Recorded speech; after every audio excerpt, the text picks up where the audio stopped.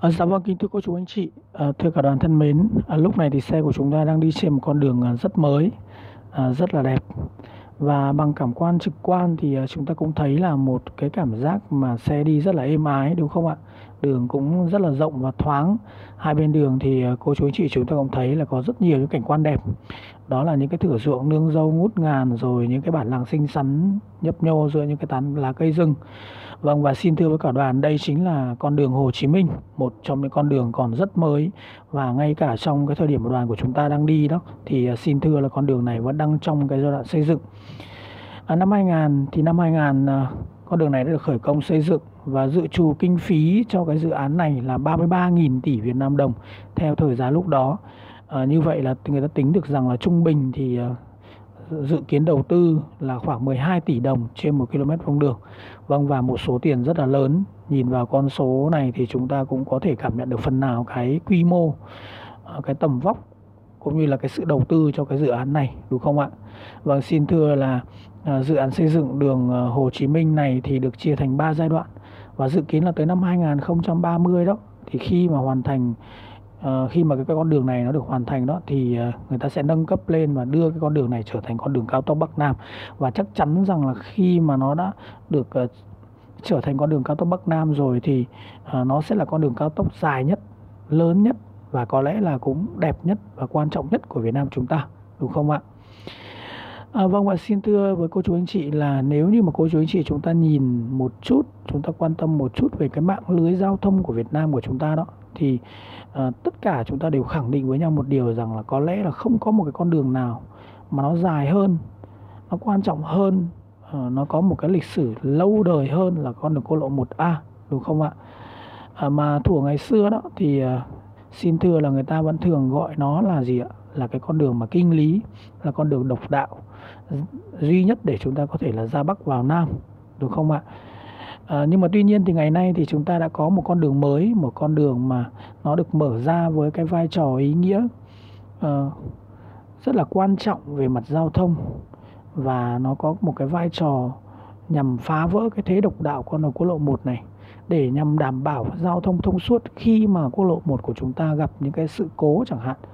Đó. Đồng thời thì nó cũng tạo thành một cái hệ thống trục ngang để nối liền giữa hai miền Đông và Tây của đất nước. Vâng xin thưa là nếu như mà cái đường quốc lộ 1 1A đó, nó chạy ở cái miền khu phía Đông, đúng không ạ? Uh, chạy qua những khu vực mà vùng đồng bằng các cái tỉnh thành phố ở những cái vùng đồng bằng uh, rồi vùng ven biển vân vân tức là những cái vùng mà thuộc về hành lang phía đông. Thì con đường Hồ Chí Minh này nó lại đi qua những cái tỉnh thành phố mà nằm ở dưới chân của cái dãy núi Trường Sơn. Uh, thậm chí là vâng nó còn được xây dựng dựa trên cái cái cái nền tảng cái nền móng cũ của một con đường đã từng tồn tại uh, trong một cái giai đoạn lịch sử rất là hào hùng một cái giai đoạn lịch sử kháng chiến chống Mỹ à, chống ngoại xâm à, kiên cường, dũng cảm của dân tộc chúng ta. Đó là con đường à, Hồ Chí Minh hay còn gọi là đường mòn Hồ Chí Minh ngày xưa, đúng không ạ? Và với cái vai trò là tạo thành những cái trục ngang như vậy thì nó sẽ nối liền giữa hai cái miền mà đông tây của đất nước Ờ, và góp phần tích cực vào cái công cuộc công nghiệp hóa và hiện đại hóa đất nước đóng một cái vai trò quan trọng về mặt an ninh quốc phòng. Ờ, có tác động rất lớn để có thể là trong cái việc là chúng ta sẽ giao lưu và kết nối với các cái nước ờ, bạn nước láng giềng anh em như là Lào, Campuchia và Thái Lan đúng không ạ? Vâng và người ta còn gọi cái con đường này đó thì xin thưa người ta gọi cái con đường này đó là đường Hồ Chí Minh trong thời kỳ công nghiệp hóa và hiện đại hóa đất nước. À, dạ vâng kính thưa cả đoàn, à, khi đưa vào khai thác và sử dụng đó thì con đường này sẽ có tổng chiều dài lên tới là 3.183 km. Vâng kéo dài từ cái điểm đầu tiên của nó là khu khu vực Bắc Bó của Cao Bằng và tới cái khu vực cuối cùng của con đường này cũng là cái phần giải đất cuối cùng của Việt Nam chúng ta đó là khu vực của đất mũi Cà Mau. à, người ta tính được rằng là con đường này thì nó sẽ đi qua là tới 28 tỉnh thành phố và chắc chắn rằng là với cái cái chiều dài như vậy, với cái vị thế như vậy thì nó sẽ trở thành một trong những cái mạch máu giao thông quan trọng và thúc đẩy cái sự phát triển kinh tế, văn hóa, xã hội cho những cái địa phương nơi tuyến giao thông này đi qua, đúng không ạ? Vâng và xin thưa là đường Hồ Chí Minh thậm chí là người ta còn còn còn còn còn nói rằng là đường Hồ Chí Minh thì uh, mở đến đâu, đi đến đâu thì cuộc sống của đồng bào các dân tộc vùng sâu, vùng xa, vùng căn cứ cách mạng trước đây thì đổi thay đến đó. từ năm 2012 đó thì ờ, tức là cái giai đoạn 1 của cái dự án xây dựng con đường này ờ, được hoàn thành đó thì người ta đã ờ, có một cái đề án đó là chuyển các cái xe khách lên cái đường Hồ Chí Minh này đó để mà giảm tải áp lực uh, cho cái quốc lộ 1A mà lâu nay chúng ta vẫn thấy rằng là tình trạng kẹt xe tắc đường rồi cái lưu lượng do cái lưu lượng giao thông nó quá tải uh, diễn ra một cách thường xuyên đúng không ạ à, thậm chí là người ta còn còn còn còn bắt buộc điều chuyển một số các cái tuyến xe khách mà đang hoạt động ở trên quốc lộ 1A lên cái đường Hồ Chí Minh này. Nhưng mà tuy nhiên thì tới tháng 9 năm 2013 thì khi mà tổng kết cái đề án này thì người ta đã thấy rằng uh, cái kết quả của nó thì uh, làm là là một cái sự thất bại. Ừ. Người ta nhận thấy rằng là càng càng ngày thì cái phương các cái, cái, cái, cái lưu lượng phương tiện trên cái tuyến đường này đó thì càng có nguy cơ giảm mạnh. Uh, công suất sử dụng tại cái nơi mà có lưu lượng cao nhất của trên cái tuyến đường Hồ Chí Minh này đó thì xin thưa chỉ bằng có 1 phần 10 so với thiết kế so với cái dự tính ban đầu của người ta mà thôi. À, thì khi mà đi vào tìm hiểu những cái nguyên nhân à, dẫn tới cái thực trạng đó nguyên nhân mà dẫn tới những cái cái cái cái kết quả mà nó nó nó yếu kém Ờ, thấp kém mà không được như cái dự tính như cái mong đợi như vậy thì người ta thấy rằng là do cái tuyến đường này phải vượt qua nhiều đèo dốc dẫn tới cái việc mà tiêu tốn nhiên liệu cao hơn khi mà chạy tuyến quốc lộ 1A à, trên tuyến đường thì lại có nhiều cái ngã ba ngã tư và những cái đường nhỏ chạy cắt ngang qua rất là nguy hiểm và hệ thống biển báo tốc độ chỉ dẫn và gờ giảm tốc đèn tín hiệu thì cũng còn nhiều bất cập và chưa hoàn thiện. À, thêm nữa thì à, ở cái con đường này thì lại còn thiếu nhiều cái hệ thống dịch vụ kèm theo như các cái điểm sửa chữa khi xe bị hỏng. Rồi hệ thống nhà hàng khách sạn cũng thưa thớt. Thành thử ra dân lái xe thì người ta cũng rất là ngại khi mà đi trên tuyến đường này. Bởi vì cô chú anh chị chúng ta cũng thấy rồi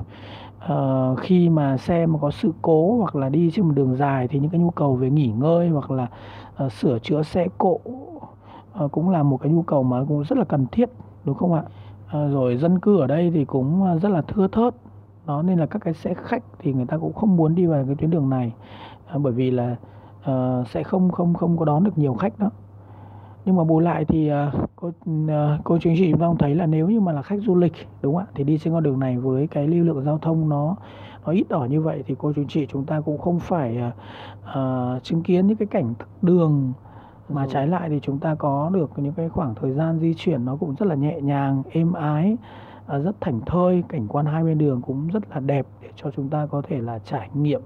ờ, chúng ta có thể ngắm cảnh và chụp hình. À, vâng và xin thưa cô chú anh chị là đi trên con đường này đó thì à, người ta còn nhắc nhở nhau để nhớ về một con đường ngày xưa. Và con đường mà à, đã từng tồn tại trong lịch sử chống ngoại xâm của dân tộc ta một trong những con đường được mệnh danh là con đường huyền thoại của những con đường một trong những con đường mà nó đã trở thành nỗi ám ảnh với à, với người Mỹ mà ngay cả cho tới bây giờ khi mà nhắc lại con đường này thì người Mỹ vẫn vẫn tỏ rõ một cái sự sợ hãi, sự khiếp sợ và và và sự thán phục với cái cái cái sức lực cái trí tuệ của người Việt Nam khi chúng ta đã xây dựng được một con đường. Đó là con đường Hồ Chí Minh hay còn gọi là đường mòn Hồ Chí Minh uh, trong lịch sử. Uh, xin thưa với quả đàn là trong lịch sử dựng nước và giữ nước thì dân tộc ta thì đã cũng đã từng khai thông ra nhiều cái con đường đúng không ạ? Để mà mở mang bờ cõi bảo vệ non sông vượt lên những cái sự bao vây ngăn chặn của kẻ thù. Nhưng có lẽ con đường Hồ Chí Minh uh, mà chúng ta vẫn thường gọi là đường mòn Hồ Chí Minh thì cũng xin được giải thích một chút với cô chú anh chị là cái đường mòn Hồ Chí Minh này đó thì không phải là cái tên của Việt Nam chúng ta đặt vào lúc đầu thì chúng ta đặt là đường 559 sau đó chúng ta gọi là đường Trường Sơn. Còn với người Mỹ đó thì người ta gọi đây là đường mòn Hồ Chí Minh. À, thì đây là một con đường có thể nói rằng một con đường vĩ đại nhất cả trong ý tưởng và thực tế. Đó là một con đường của cái sự sáng tạo sự đột khởi mà làm đã làm thay đổi cái cục diện thế và lực của cách mạng Việt Nam giúp cho cách mạng Việt Nam có thể đi tới một cái thắng lợi vẻ vang cuối cùng. Đó là con đường của những con đường người ta gọi là con đường của sự gợi mở và tiếp nối của những con đường. À, xin thưa cả đoàn là trước đây thì một đại văn hào rất nổi tiếng người Trung Quốc ông tên là Lỗ Tấn thì ông đã có một câu nói cũng à, rất là nổi tiếng đó là trên thế giới này thì làm gì có con đường? Người ta đi mãi à, rồi mới thành con đường. À, nhưng mà tuy nhiên thì ở Việt Nam của chúng ta à, bằng lịch sử bằng truyền thống đấu tranh chống giặc dựng nước dựng xây đất nước của uh, chúng ta thì đã chứng minh một cái cái cái chân lý ngược lại. Uh, đó là uh, trước khi có những con đường mà được hằn trên mặt đất à, như Lỗ Tấn nói đúng không ạ? Thì chúng ta đã có được những cái con đường khác rồi. Đó là những con đường trong ý tưởng con đường của ý chí. Con đường Trường Sơn 55 năm trước khi trở thành con đường mòn thì nó có dấu chân của lớp lớp chiến sĩ giải phóng hằn in trên đó thì nó đã đã là con đường trong cái tâm tưởng của những người lãnh đạo, trong cái khát vọng của mỗi một người dân Việt Nam, đúng không ạ? Đó chính là con đường nhằm thống nhất đất nước, con đường vũ trang cách mạng. Cũng, người ta thường nói là cùng thì tắc biến, nên là con đường đi đến thống nhất hai miền Nam Bắc bằng hiệp thương chính trị, tổng tuyển cử theo tinh thần của hiệp định Geneva đã không thể thực hiện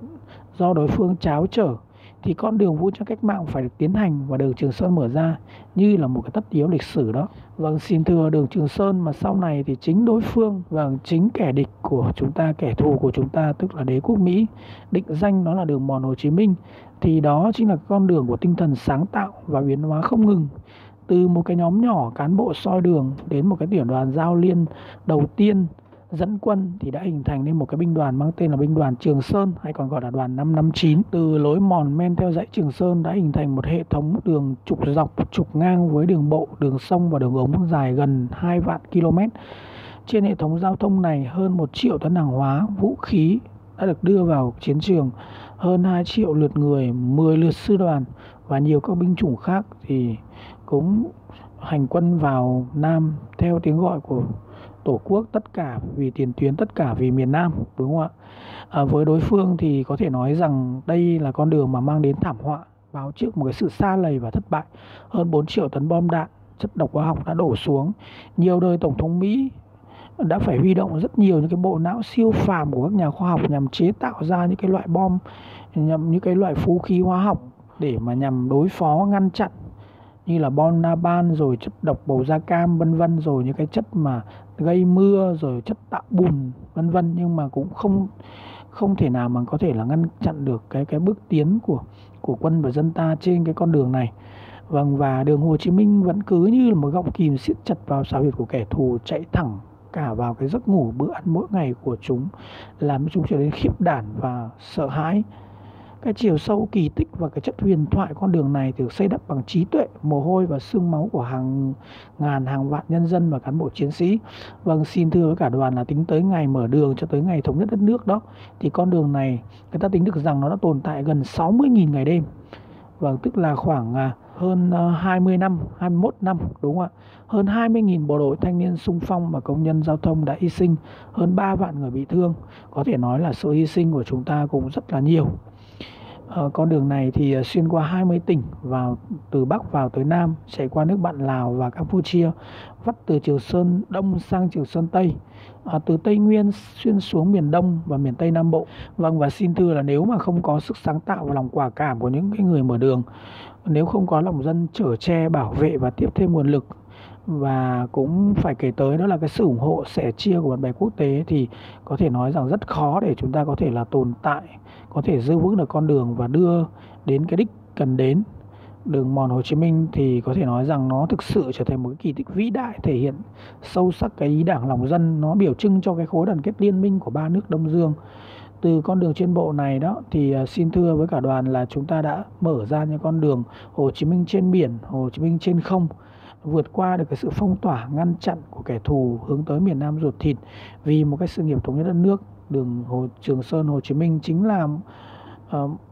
một trong con đường có thể nói rằng huyền thoại mà người Mỹ đã nói rằng đó là một cái công trình mà quân sự vĩ đại của thế kỷ 20 có thể nói rằng là đường mòn Hồ Chí Minh cho tới ngày nay thì nó đã hoàn thành được cái sứ mệnh lịch sử góp phần to lớn kết thúc thắng lợi vẻ vang trong cuộc kháng chiến chống Mỹ của dân tộc ta thu non sông về một mối nhưng cái tính chiến lược bất ngờ cái sáng tạo gợi mở của con đường này thì có giá trị lâu bền và vượt thời gian. À, vâng xin thưa cả đoàn là ngay cả từ mấy chục năm trước đó thì nhà thơ tố hữu đã cảm nhận về cái tầm vóc và sức lan tỏa con đường này. Thì ông đã đã, đã uh, thốt lên những cái vần thơ đường mòn Hồ Chí Minh là con đường sáng tạo đường Trường Sơn cao hay địa đạo âm thầm cũng là linh hồn ta từ 4.000 năm tự xây đắp để ngang tầm thế kỷ. À, vâng và Ờ, dự cảm về một con đường của công nghiệp hóa của sự phát triển kinh tế sau này thì ông cũng có những cái vần thơ mà để nhắn gửi cho thế hệ mai sau. Mở rộng con đường huyền thoại Hồ Chí Minh cho tổ quốc mai sau lên tuyến đầu nhân loại.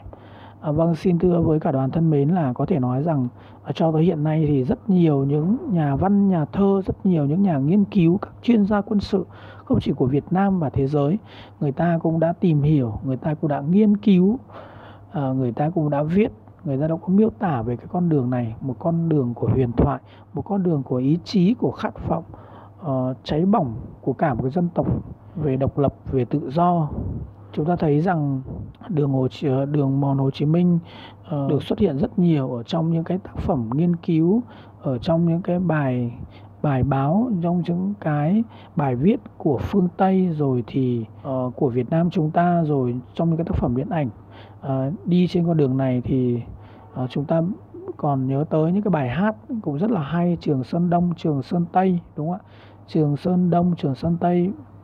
bên nắng đốt bên mưa quay hoặc là Trường Sơn Đông nắng Tây mưa ai chưa đến đó thì chưa biết mình. Hoặc là những cái nhà lịch nghiên cứu lịch sử quân sự đó thì cũng được nhận xét là gì ạ? Toàn bộ cái con đường mòn Hồ Chí Minh mà người ta nói hôm nay là tổng kết của hàng thế kỷ đấu tranh và bức cho nên con đường ấy là sức sống mãnh liệt vì nó là tượng trưng cho sức chiến đấu của cả một cái dân tộc. À, thậm chí là là rất nhiều ờ, cái nước nước phương Tây đó rất nhiều cái phương Tây người ta còn còn đem so sánh uh, là cái thành tích của Hannibal một cái cái cái vị tướng rất là vĩ đại của người phương Tây với những cái con đường vượt qua dãy Alper của Napoleon Bonaparte với con đường chuyển trọng pháo qua đèo Sang Bernard đã bị đẩy lùi quá xa khi nói đến con đường Hồ Chí Minh. Rõ ràng là người ta đã có những cái người ta cũng có những cái lý do để mà đặt cái con đường uh, mòn Hồ Chí Minh con đường huyền thoại đã hóa thuân vào cái con đường Hồ Chí Minh hiện đại mà xe của chúng ta đang đi đây. Cũng đặt cao hơn so với cả những cái chiến công so với cả những cái con đường uh, có thể nói rằng huyền thoại trong lịch sử quân sự của phương Tây của thế giới. Uh, vâng và có lẽ là uh, cũng xin được uh, kết thúc cái phần chia sẻ uh, về uh, phần chia sẻ phần uh, giới thiệu về con đường uh, mòn Hồ Chí Minh bằng một bài hát đó là Trường Sơn Đông, Trường Sơn Tây được không ạ? Xin mời cả đoàn chúng ta sẽ cùng vỗ tay và cùng hát với hướng dẫn viên cho có khí thế ạ.